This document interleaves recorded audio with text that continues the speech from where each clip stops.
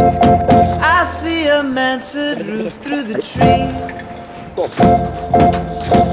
I see a salty message written in the eaves. The ground beneath my feet,